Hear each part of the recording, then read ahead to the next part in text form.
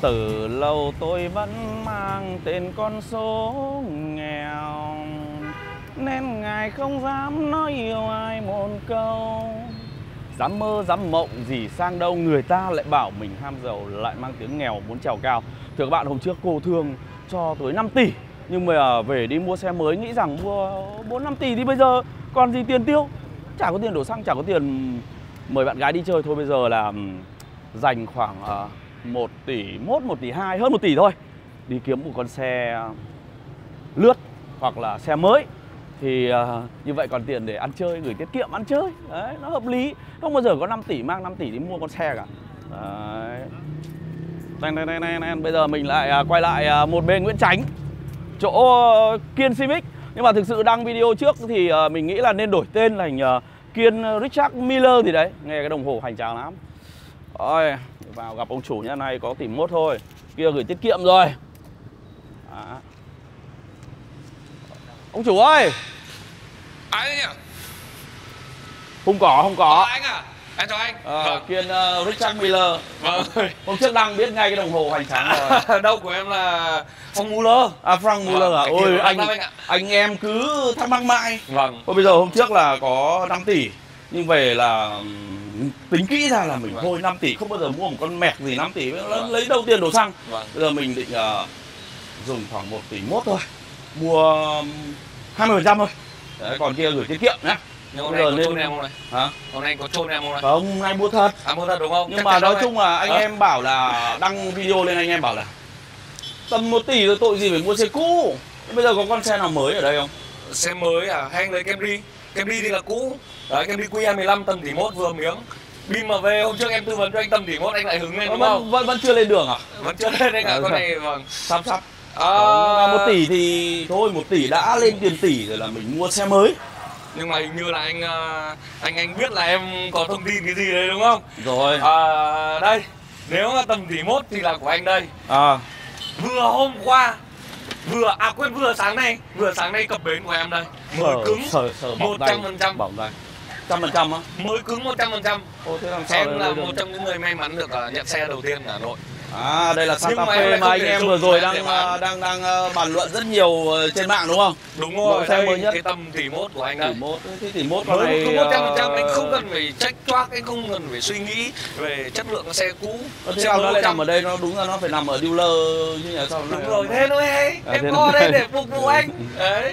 Ờ, thế bây giờ có cái con này nhá. Bây giờ nếu mà loanh quanh hơn 1 tỷ rồi con này là giá chính hãng nó công bố là bao nhiêu nhỉ? Một tỷ 195 Ờ, là bản em- à, là bản, bản của em là bản à, đặc biệt giàu. Đặc biệt giàu. Đấy Ờ, đặc ờ. biệt giàu. Nghe hấp dẫn đấy đặc biệt giàu.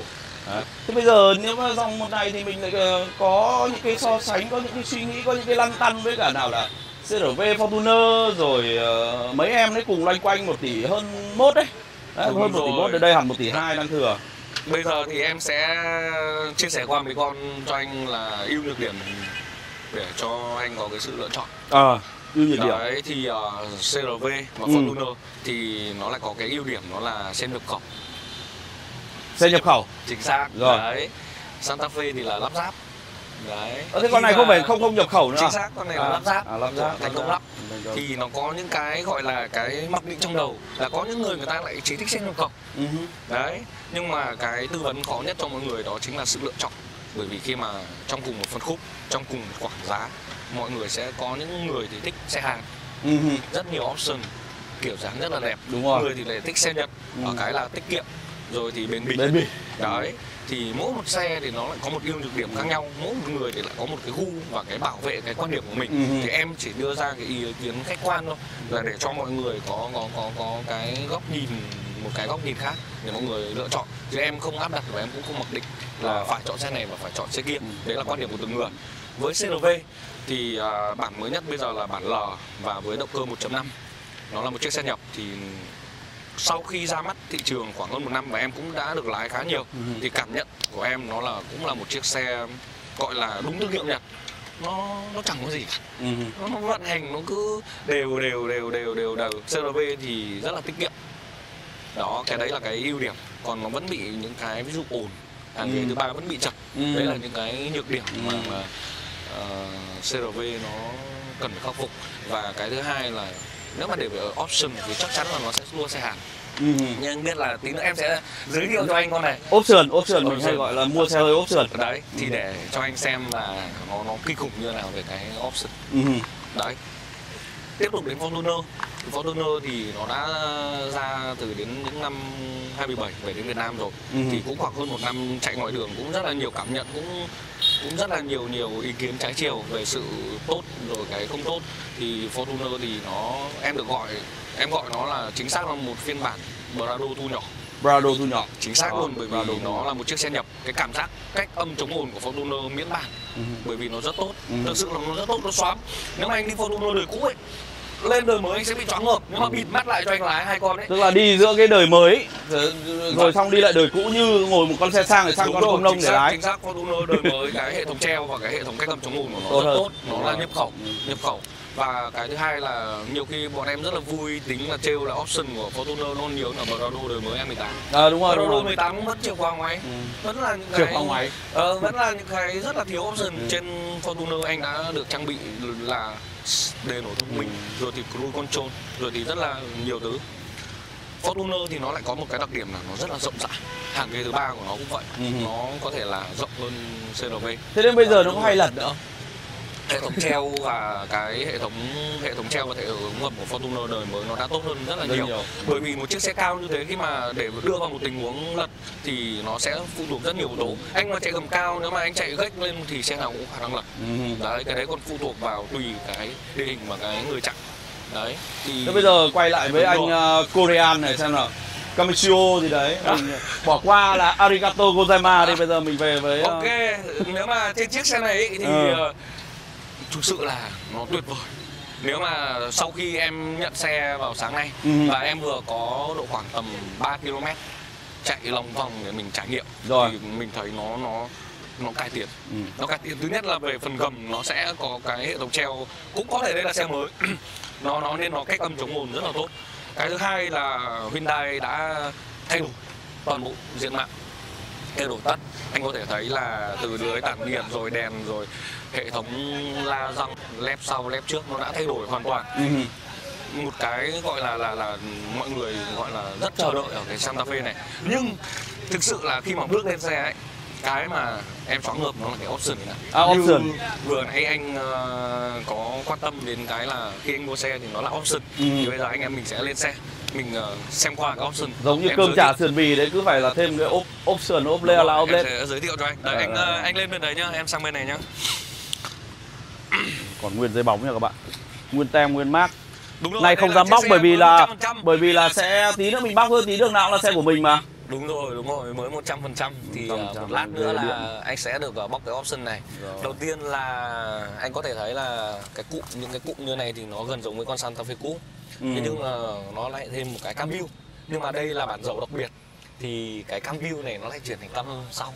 Cực kỳ hay, tức là À, đề đề đề lên cái cho thấy đấy, đề đề đề xe của anh mà thì nữa anh cứ nào là xe của mình mà. Úi rồi. Giao diện này như phim khoa học viễn tưởng luôn. nó đẹp, nó đẹp. Rất đẹp luôn anh ạ. Đúng Thực là thời trang Hàn Quốc nhỉ? đúng, Đúng rồi thời trang Hàn Quốc. Đốn ngã bất kỳ các ờ, Đúng. em gái nào ở Việt Nam luôn. đúng rồi Bây giờ cả các anh, các anh cũng mê các anh. thì à, có những cái nút Drive như độ này. mode này hỗ trợ đổ đèo này Ừ. rồi à, cảnh báo va chạm này auto hold phanh tay điện tử Ừ. ờ, cam view nhưng cái cam view này rất hay này ở cái bản mà bản dầu đặc biệt thì anh ấn đằng sau thực ra là anh phải di chuyển anh anh gạt vào số số D Đây, số thì cái. 2D. đấy thì cái, khi anh di chuyển thì nó sẽ quay ở đằng sau Ừ. nó sẽ quay đằng sau đây anh nhìn đang ở đằng Đúng sau này đúng rồi. rất là hay em thấy cái tính năng này nó còn hay hơn cả cam 360 ấy bởi vì sao khi mà anh di chuyển thì anh sẽ biết được là ở đằng sau có ông nào đỗ sát sát mình không Ừ. rồi thì có chướng ngại vật gì không Ừ. để mình ví dụ có lùi hoặc là có tiến có lách ra ở thứ nó rất là an toàn màn nó rất là to anh nhìn anh có thể nhìn thấy Ờ nhưng mà cái cam này thì mình lắp ở ngoài chợ rời thì ví dụ không có thì mình lắp cũng dễ. không nó lại hay cái là nó tích hợp là khi mà anh di chuyển nếu mà anh lắp ở ngoài ấy, thì nó chỉ tích hợp được trên gương thôi À. hoặc là trên màn nhưng mà khi mà đây một cái nó theo xe giá trị nó lại khác chứ anh Ừ, rồi. đó cái thứ hai nữa là trên con này là cái mode này này Ừ. nó đã chuyển sang là 4 chế độ lái bốn chế độ lái. khác với con cũ là ba chế độ lái À, Comfort, Eco, Sport. À đây là cái Smart là cái gì đấy? smart cái smart này nếu mà theo em được hiểu ấy nó chính là cái AI của của xe.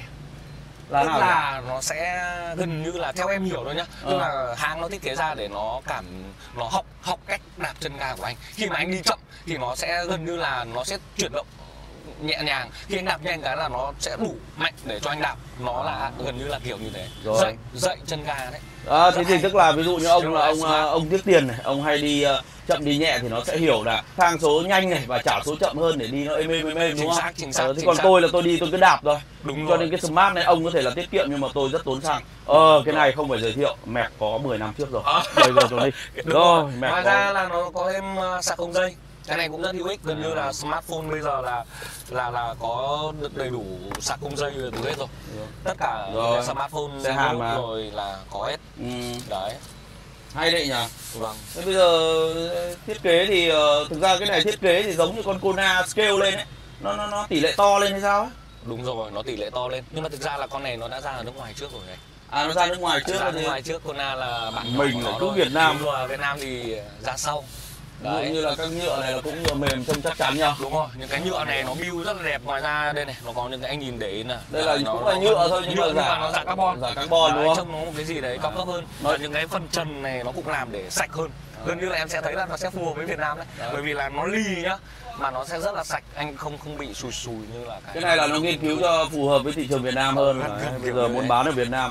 Nhưng mà đời trước là mình thấy là nó không có cái ờ, lẫy chuyển số, đời này nó có này. đúng rồi chính xác là nó lại thêm lấy chuẩn số Ừ. đại khái là cho đến bây giờ những cái chiếc xe như này là gần như là được trang bị tận răng Rằng đây là về sau anh mua à, những cái bản ra về sau là bản premium Ừ. thì sẽ có cam 360 cam 360. đúng rồi giá của nó sẽ lệch nhau đâu đó khoảng tầm 50 triệu Cái này giống như đi mua cơm mới nhỉ, thêm trả thêm sườn bì thêm ấy là nó ờ, là thêm tiền cái đấy thôi. Đấy. Bây giờ bây giờ xe nó cũng hay, nó không phải một cái cho tất cả mọi người. Đúng rồi, đúng mình rồi, đúng rồi. mình bắt đầu thích rồi đấy. Ở đây cái ờ, mình thấy cái nút start stop này thì rất là phổ biến rồi nhưng mà giống hệt mẹc này.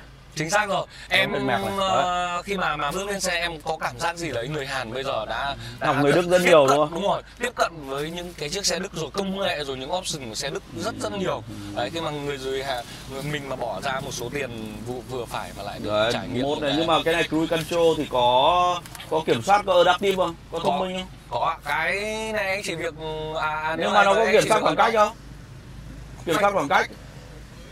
Kiểm soát khoảng cách á, tức À, là tức là nó sẽ giữ một cái khoảng cách nhất định nó tự phanh á, giống như mấy con phanh khoảng cách không có đâu anh Không không có. đúng rồi cái này là nó sẽ chưa có phanh khoảng cách những con Thôi phải chờ chờ thêm tiền vào thôi. đúng rồi nó lại phải update dần dần thì mọi người nó mới có hứng thú Này nhưng mà bây giờ nhá, da con này là da gì nhỉ? Nó thuộc da của con này cũng da là da công nghiệp anh ạ nó Da công nghiệp rồi đúng không? đúng rồi nó không thể được giá xịn nhưng mà theo em cá nhân em làm xe bao nhiêu năm thì em nhận thấy là những cái da này của nó của Hyundai thường rất là tốt Ừ. của Hyundai anh lên Santa Fe Tucson anh đi đến 5 6 vạn thì nó vẫn là, là rất tốt rất là bền nó không không bị nhăn nhó rồi thứ như các sự ấy Rồi các cái vị ờ, nói về cái câu chuyện da. Thực ra là tôi thấy ông là rất thật thà, tôi rất yêu luôn. Vâng, Bởi vì rồi. nhiều ông ờ, sale nói thẳng luôn vào rồi. da nó sang lắm. Nhưng ờ, tôi là cũng là dân về da đây, da rẻ hồng hào Dạ. biết ngay da rẻ nhăn nhúm. Dạ. Da này là da trên dòng xe cao cấp như Rolls Royce các kiểu nó sẽ da độc dược nhầm da thảm mộc đúng rồi. đúng không bảo vệ Đúng sức rồi, khỏe đúng mềm êm ái rồi sau đấy đến với phân hạng Napa Anilin rồi. rồi mới đến Dakota ờ, Nevada rồi cái Vâng. thể loại cuối cùng là cái uh, Symmetric cái gì đấy Vâng. tóm lại nó là vật liệu ni lông tổng hợp rồi cái sợi gì đấy tổng hợp gọi là giả da đấy Dạ. Nhưng mà da càng thật thì càng phải bảo dưỡng kỹ nhé. Còn da này thì chạy phải đúng rồi luôn. đúng rồi. đúng không? Da công nghiệp mà. Đúng rồi phù hợp Ờ, với phù cái điều kiện mà nên có nhiều anh em bảo tại sao da con này nó xuống nhanh thế? Thực ra là da xịn hay da càng thật ấy da này mà không bảo vệ thì chết. Đúng rồi. Còn da công nghiệp thì thoải mái đi nên là được đấy. Bắt đầu là quý yêu quý sự đấy. Này anh cũng thể, tổng hợp. anh cũng có thể thấy là những cái option à những cái thay đổi ở bên trong những cái đồng hồ những cái rất là đẹp. Trông nó cứ như Spiderman đấy nhỉ? Đúng rồi đây này anh chuyển Đó. anh chuyển từ các chế độ này. Đấy, Drive mode mỗi một chế độ thì đèn nó lại khác Rồi. nhau. cái này thì ờ, thực ra là ờ, nói thật ra là người mình không dùng từ copy. Đúng lịch rồi. sự anh em lịch sự không dùng từ copy mà học hỏi. Rồi. Học hỏi học hỏi từ của người anh người đức đúng không? Rồi. Đấy, màu nào là- màu đỏ là phải nhiều năng lượng rồi. Rồi. Mấy là cái này thì nó cũng khá là quen rồi. Tuy nhiên ở đây mình xem nào mình xem cái menu này nó có cái gì nữa nào. Đây này nó cái all wheel drive đây này cái này mình thấy hơi lạ này. Xe Hàn mà bây giờ cũng đầu gấu phết. Đúng rồi có đầy đủ anh ạ. Cái này thử chưa? Cái này em chưa thử bởi vì xe là thú thực với anh là em nhận cách đây được khoảng tầm 3 tiếng. Ờ. nên là mình cũng chưa thể nào trải nghiệm hết. Nhưng mà chính xác là cảm giác lái thì em có lái được Ờ. và thấy nó khá là ok. Nó rất là là là là thực sự nó bốc đấy nó Thơm. bốc. À, thế hóa ra là ngày xưa là người Hàn lại bây giờ tôi người Hàn này tôi đẹp rồi này. Tôi nhiều option rồi này. Đúng rồi. bây giờ tôi phải lái hay nữa cơ. Câu Đúng chuyện rồi. giống Lexus. Đúng rồi nhưng mà thực sự mà nói là với một mẫu xe này mà có hơn 1 tỷ nhờ 1 tỷ mốt. Đúng rồi. Thì lúc là- anh đi mua là là anh ờ, mua thẳng hay mua trả góp nhỉ? Mua vấn đề là phải giá bao nhiêu đã. Bây giờ bây giờ tôi tổng ngân sách tôi có 1 tỷ hai rồi này, này. một tỷ hai à? Bây giờ giá giá niêm yết của hãng em này là bao nhiêu nhỉ? Giá niêm yết của em này là 1 tỷ 195 coi như là đấy tôi vẫn thừa 5 triệu thế đủ rồi. À, không. phải trả góp? Thời điểm hiện tại thì là anh mua là anh sẽ phải bị kèm lạc và anh sẽ mất là 100 triệu nữa. Ôi trời. Chơi tôi à? Bây giờ xe ông đang niêm yết một giá bây giờ ông vào xem hết rồi ưng chốt rồi bây giờ ông lại bắt tôi thêm trăm củ. Ờ, cái này là không phải là do em À. còn em mua là cũng bị kênh. À. và em mua về để em bán cho anh bằng với giá ấy. tức là mua kênh lại bán cũng phải kênh. Đúng rồi. Nếu mà anh thiện chí em sẽ mất anh 10 triệu. Ra lộc kênh 10 triệu. Ra là dễ dàng chưa? 10 Đấy. triệu là được à, nửa cái biển rồi. Đấy. Ờ, và nếu mà anh ờ, vay banh thì em vẫn có thể hỗ trợ thủ tục Thế bây giờ không đủ thì chắc chắn rồi. Bây giờ vay banh thì cái thủ tục ờ, xe mới này nó như thế nào mình chưa bao giờ mua phải đi vay cả. Bởi vì cô thường hay thương lắm làm có tâm thủ tục ờ, vay xe mới thì rất là đơn giản. Nếu mà anh vay ờ, những cái xe mới này có thể vay đến đến 80 giá trị của xe. Nhưng mà thường là em sẽ khuyên mọi người là để cho hài hòa tài chính thì mọi người sẽ vay khoảng từ 50 cho đến 70 để Ừ. kiểm soát được cái tài chính. Và em sẽ cũng tư vấn cho anh. Ví dụ nhá là bây giờ anh ờ, gần Tết anh muốn để ra một khoản để mình dự phòng mình Ừ. đừng mình đừng nên là dồn tất tiền mà để mua xe Ừ. ví dụ mình có 700 mình được không đang đang có một tỷ mốt cơ à thì vâng. mình lại bớt lại mình- 500 mình- thì mình cũng chỉ nên vay độ khoảng ờ, à mình cũng nên kiểm soát cái cái cái vay đấy Ừ. để làm sao cho mà mình không bị cái áp lực tài chính cũng như là bị ờ, bị bị ờ, cuốn quá vào Ừ. việc mua xe em lấy ví dụ nhá bây giờ anh mua một chiếc xe anh có tỷ mốt rồi, Rồi. thì anh hoàn toàn có thể để ra 2 đến 300 Ừ. mình để dự phòng Tết mình tiêu gì đấy hoặc là cần gì đấy Rồi. rồi mình sẽ vay thì lãi suất vay của các ngân hàng thì gần như bây giờ nó sẽ dao động là xem xem nhau. Nó không có quá sự chênh lệch. Nhưng mà cái thời gian vay thì được Đây ờ, nha, có được sẽ- 100 năm không? Đúng. em sẽ tính cho anh là như này. Bình thường em hay khuyên mọi người nên vay từ 3 đến 5 năm. Ừ. tại sao là không nên vay một năm? Bởi vì anh vay một năm thì cái áp lực trả nợ của anh hàng tháng những tháng đầu Ừ. nó rất là khủng khiếp. Ừ. và khi anh mua một cái xe anh đang rất ờ, happy anh đang rất là vui vẻ thì mình lại cứ bị áp lực trả nợ rồi tháng nào cũng ngân hàng nó nhắc nợ mình sẽ rất là khó chịu và Ừ. mình sẽ bị một cái gì đấy là là là là là áp lực.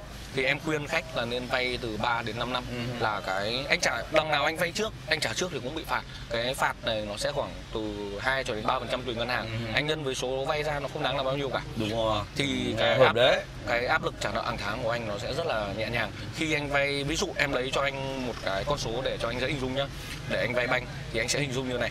Anh ví dụ anh vay là 300 triệu cho 3 năm thì mỗi một năm là anh sẽ mất là một trả phải trả là 100 triệu tiền gốc Ừ. 100 triệu tiền gốc anh chia ra cho 12 tháng là sẽ ra cái tiền gốc phải trả hàng tháng sau đó anh lấy cái đấy anh nhân với con số khoảng 0.0.9 cho em Rồi. bởi vì là ngân hàng nào thế sẽ ưu đãi một năm đầu Sau đấy thả trôi. thả trôi Rồi. thì anh cứ tính cho em là khoảng tầm 0.9 Ừ. nhân với cái gốc là nó sẽ ra cả gốc cả lãi và anh trả hàng tháng và anh sẽ giảm dần giảm dần. Ừ, là Đấy là đúng rồi. Ờ. thì thường em khuyên mọi người là nên vay từ hạ 3 đến 5 năm thì anh sẽ cái áp lực trả nợ hàng tháng thì anh sẽ nhẹ nhàng hơn rất là nhiều. Tức là thứ nhất là mình hoàn toàn là có một tỷ mốt này mình có thể vay chỉ khoảng 5 đến 70 phần trăm của xe thôi. Đúng rồi, đúng không? mình rồi. để cái khoản dư ra để có thể ăn chơi nhảy múa. Đúng rồi Đấy, phòng còn là phòng phòng phòng và thời gian vay là nên vay từ khoảng 3 đến khoảng 5 năm đúng rồi nếu mà anh ờ, mà làm kinh doanh Ừ. hoặc là làm tài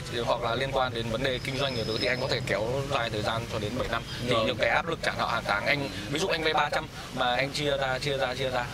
Mình ờ, kinh doanh cho vay nặng lãi cho nên không sợ cho vay vay của ngân hàng được Vâng, đấy, cho vay nặng lãi. tùy với nhu cầu của từng người thì mình có một cái con số vay hoặc là thời gian vay để cho nó phù hợp nhất.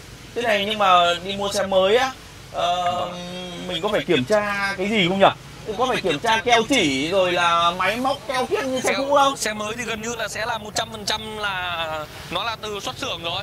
Ờ. nó xuất xưởng là mới 100% rồi. Nhưng mà bây giờ mình mua ở ngoài như thế này nhá thế cái chính sách bảo hành bảo tỏi uh... dạ, toàn bộ cái chính sách bảo hành bảo dưỡng rồi bảo uh, được uh, bảo hành là theo hãng hết theo hãng hết à? uh, đúng rồi anh hay nhờ. được đầy đủ bảo hành theo hãng. bây giờ là có rất nhiều lựa chọn à đây ghế này nó chỉnh được. Đây, đây. đúng rồi đúng rồi. Ghế chỉnh anh được. có thể uh, co kéo thoải mái được. Cái này có ngửa kiểu gì nhỉ? Ở đâu nhỉ?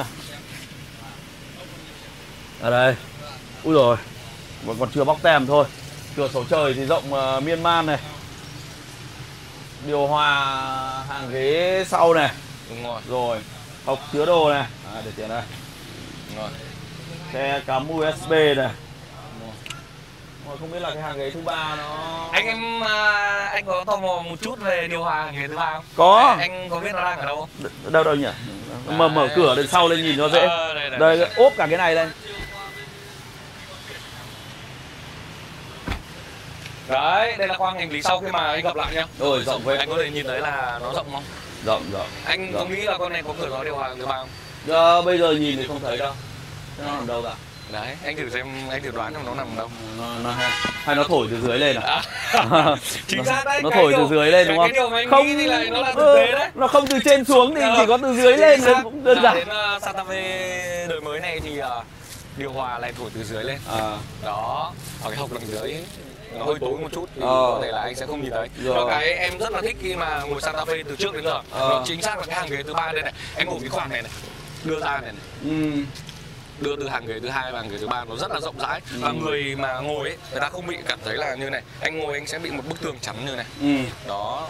Nó tức là nó có cao lên cái phần đằng sau kiểu thiết kế stadium đấy. Đấy. Và cái đằng sau này nó lại hơn hẳn một chút. Ờ. Nếu mà thực sự là so sánh hàng ghế thứ ba của của của Santa Fe và CRV Ừ. thì uh, CRV sẽ thua. Ừ. thực sự là CRV nó hơi bị đứng và hơi bị nhỏ. Hàng ghế thứ ba. Hàng ghế thứ ba của CRV thì dành cho trẻ em là sẽ tốt hơn. Ờ, mình hay, hay, nói về cái xe 5 cộng 2 nó là cái hàng ghế cộng 2 đây một năm 5 năm mỗi khi dùng 5 lần đấy một năm dùng một đúng lần. rồi mọi người ở, ở Việt Nam thì rất thích mua bảy chỗ nhưng mà rất ít rất ít khi dùng.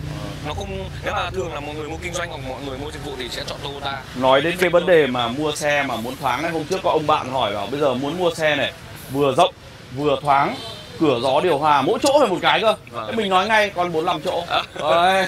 anh có quan tâm đến mức nhiên liệu của nó ờ, nhiên liệu được. Nhiên liệu thì bây giờ phải rất là quan tâm bởi vì là đây. là là, là tiền theo, nó cũng có hạn thôi. theo thông bố của nhà sản xuất thì anh biết nó là bao nhiêu không? 5,77 5,7 lít dầu. À, 5,77 lít dầu. À. nó thực sự là nó quá tiết kiệm. Em nghĩ nó là một chuyện đấy bây giờ chúng ta lật ngược lại cái vấn đề là xe Nhật và xe Hàn nhá Ừ. nhưng mà anh lại lại căn ngược lại để cho mọi người là tỷ mốt thì nên mua xe gì Ừ. lại rất là đặt đặt ra rất là nhiều cái cái cái cái lựa chọn cho mọi người ví dụ là anh chạy kinh doanh và anh thích cái sự tiết kiệm thì Santa Fe từ trước đến giờ nó luôn là huyền thoại ừ. 5,7 lít dầu mà anh biết với giá dầu nó rẻ như bây giờ thì cái chi phí sử dụng hàng năm của anh nếu mà anh chạy một năm khoảng 4 đến 5 vạn một xe đấy là anh để làm kinh doanh mà anh chạy công việc để biết là nó tiết kiệm một con số Nhưng mà cái dòng máy dầu của Santa Fe này mình nghe ông em mình hay chạy nói ngày xưa là cái chạy khoảng 3 4 năm rồi do dầu của mình nó kém ấy rồi cái tục bô nó cứ kêu do do do. Có chịu thì không biết là cái này chắc là cũng phải phải thử đấy nhỉ. cái này là cái máy của Santa Fe đời cũ được nhắc lên Rồi. có sự cải biến Ờ. có sự cách ừm, biến thiên đi thì anh biết là Santa Fe về Việt Nam từ năm 2013 Ừ. form mới cho đến 18 thì 5 năm qua mọi người chạy và đánh giá nó là một cỗ máy rất tốt Ừ. chi phí bảo dưỡng ít và rất là bền bỉ thì đấy là những cái mà mà mà thương gọi là thương hiệu Ừ. nhắc đến Santa Fe người ta nhắc đến Santa Fe dầu nhiều hơn là nhắc là Santa Fe xăng, đấy còn nhắc đến máy xăng thì người ta lại chọn Honda Ừ. và Fortuner Ừ. à, và Toyota đấy thì đấy là những cái mà khi mà đưa ra ý kiến để mình mặc định thì nó sẽ rất là khó. Tùy vào nhu cầu. Ví dụ là anh mua để chạy kinh doanh anh mua để chạy dịch vụ thì Santa Fe với mức dầu là 5,77 lít trên 100 cây chạy ờ, uh, đường trường nó quá là tiết kiệm mà anh chạy hỗn hợp nó cũng chỉ đến có 8 lít thôi. tóm lại là bây giờ do là mình thấy như này sau một hồi giới thiệu là mình thấy sức cạnh tranh nó tăng này. Bây giờ xe Hàn nó không chỉ là xe hơi ốp sườn nữa Đúng mà bây giờ lại còn phải lái hay này driver mode nhiều như xe của Đức này rồi. rồi lại phải tiết kiệm và bền bỉ như xe của Nhật này. Đúng đấy để nó tăng cái sức cạnh tranh này đúng không? Thực sự Nhưng- là nếu mà đặt mọi tiêu chí lên ấy thì Santa Fe nó cạnh tranh khá tốt. Em lấy một con số cho anh thôi. Thời điểm giá xe của xe mới của Santa Fe bây giờ giá công bố là 1 tỷ 195 triệu. Ừ. Thực sự nó là một con số em phải nói là quá tốt. Thế thì tóm lại như này, nếu như mà ờ, mình đi mua xe mình rồi mình có kinh nghiệm rồi, nhận được rất nhiều cái tư vấn của của Kiên rồi. Thế sau này anh em mà có hỏi thì cứ mua con xe nào ngon. Thế thì mình cứ cần trả lời đúng câu duy nhất là cứ mua càng nhiều tiền thì nó càng ngon. Không hẳn, không À, hẳn. à? Nhiều tiền chứ khác hẳn là ngon nó phải phù hợp với mình nó mới là À, ngon. phù hợp với mình nữa. Đúng rồi, phù hợp với mình là ngon. Anh đi có những chiếc xe Anh rồi những chiếc xe Đức nhưng chưa hẳn nó đã rất tốt đâu. Ừ. Có những chiếc xe Đức đi rất ổn. Nhưng mà anh bước từ xe Đức xuống thì nó lại rất là đẹp trai. À, đấy, Đấy. auto đẹp dai. Đúng rồi. Còn cái Santa Fe thì sẽ phụ thuộc vào cái nhu cầu của anh. Ừ. Nếu mà anh muốn một chiếc xe rộng rãi, Ừ.